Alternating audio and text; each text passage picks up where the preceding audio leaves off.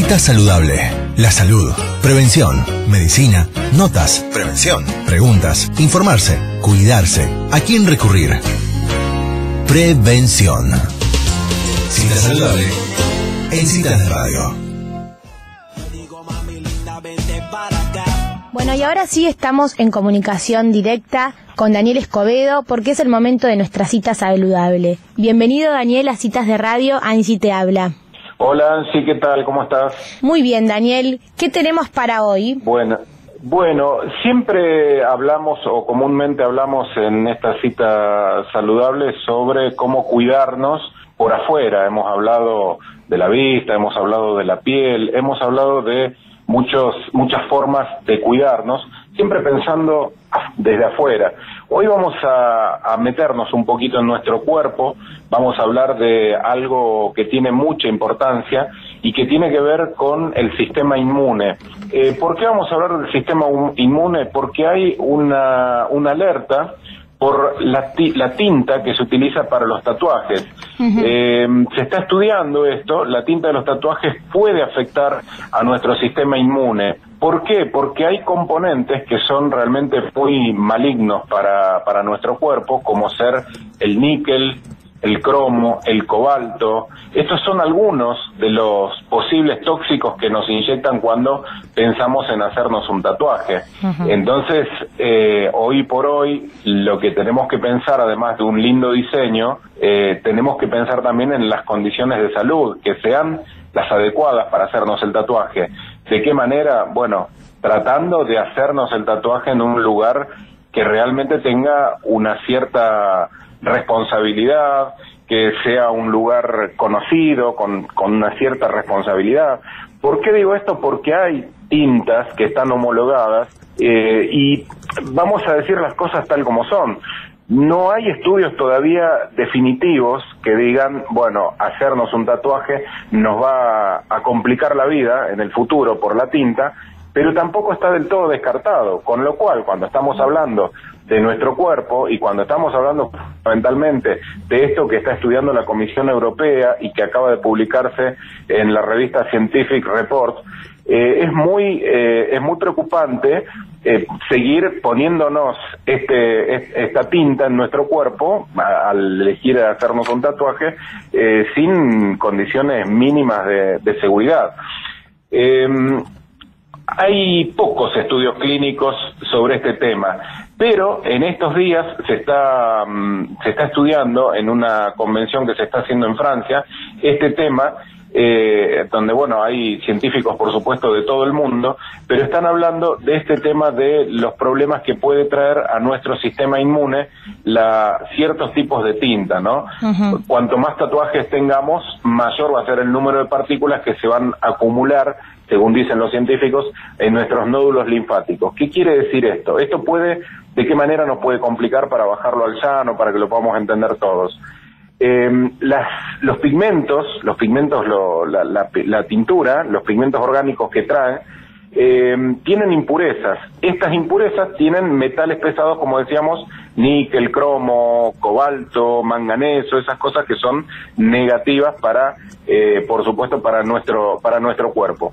Estas, estas impurezas que nosotros colocamos en la, en la piel no, no viajan, no quedan solamente en la piel, viajan por nuestro cuerpo y se van bastante más lejos. ¿Por qué?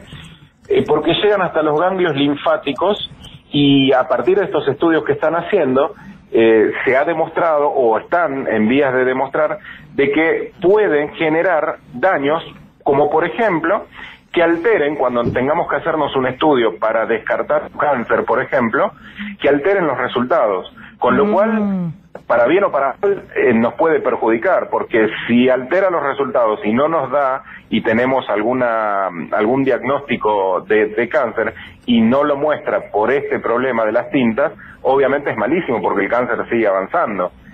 Si no lo tenemos y el problema este de, de, estas tinturas eh, no, nos da un falso diagnóstico positivo, bueno, terrible también que nos den un, un resultado positivo, por ejemplo, por estos pigmentos acumulados, ¿no es cierto?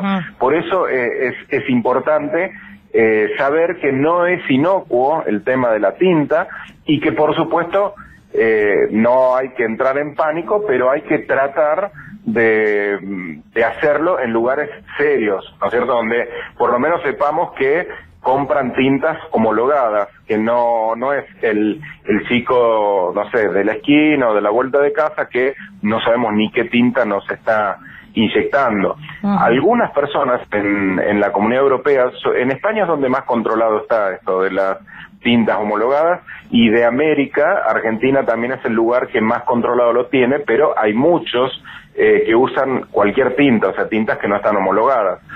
eh, se habla también de quitárselo a través de las técnicas láser. Mucha gente llega a una cierta edad y dice, no, yo me los quiero sacar, me hice dos tatuajes cuando era más joven, me los quiero sacar. Esto no elimina el problema, al contrario, lo que dicen estos especialistas es que al aplicar este método de técnica láser, las partículas grandes de pigmento de la piel se rompen en pedacitos, en fragmentos más pequeños que van a viajar por el cuerpo y ¿dónde van a ir a parar? A nuestro nódulo linfático. Ah. El láser además produce un cambio químico en esas partículas y bueno, eso es eh, negativo. Por eso lo más importante es al momento de hacernos el tatuaje estar seguro de eh, o lo más seguro posible de dónde lo estamos haciendo, con quién lo estamos haciendo, para que, bueno, tengamos por lo menos el, riesgo más bajo de este tipo de complicaciones si se puede consultar con un dermatólogo o, bueno, viajar